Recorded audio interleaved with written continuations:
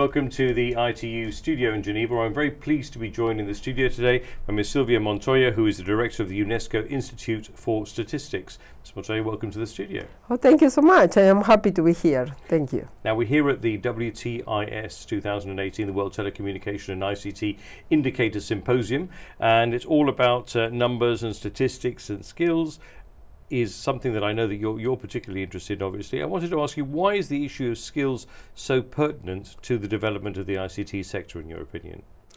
Uh, this is uh, actually critical.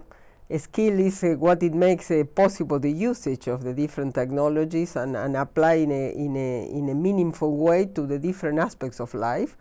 Our areas of concern are obviously education, basically coming from UNESCO, but it's also how you use for the teaching, for the learning, to integrate yourself in, in the citizenship, to express your voice as a, as a, as a citizen, uh, to take care of your health, to read, and, and also to, to work, because at the end of the day, you have to work, you have to participate in, in society, and you have to integrate technology in every single aspect of life. How you could do that if you don't have the set of skills that are needed? What skills would you say are a must have in order to use ICTs effectively? I think that in general, beyond the ones that are basic in this moment, we actually turning on and off a computer or a cell phone or a mobile is are, are, are off the table that are needed, definitely.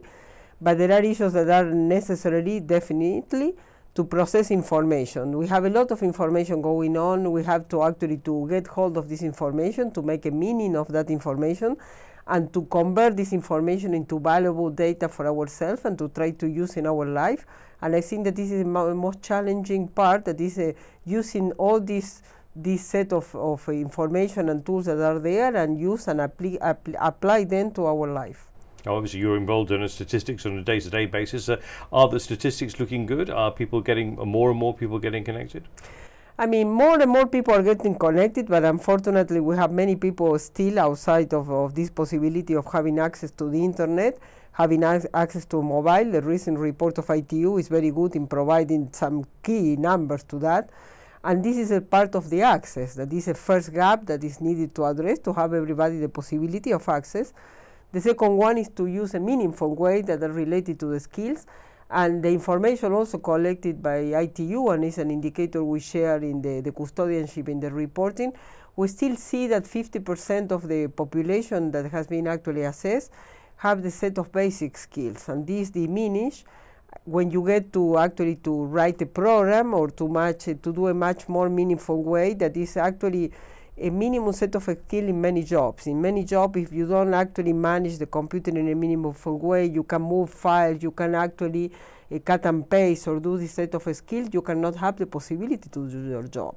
Uh, and if these ones are still a low percentage of the population, we, we, are into trouble. So, what more can governments and uh, relevant stakeholders do to promote the acquisition of relevant digital skills? I think that in the first case are information. I don't think that there is enough information about what are the set of skills that we need to have. And uh, I think that when people get aware of that uh, set of skills that we need to have, and that for certain profession, if you don't have those, you don't have any possibility, this is a wake-up call. The second one is you have to put into place way of actually having access to technology, both computer and, and, and, and, mobile phones that are part of the daily life now with a lot of possibilities for learning and for work.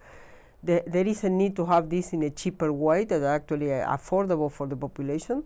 The third one, obviously, is related to training. We have to give everybody the possibility, regardless of age, of having access to a reasonable training to at least acquire a minimum set of skills.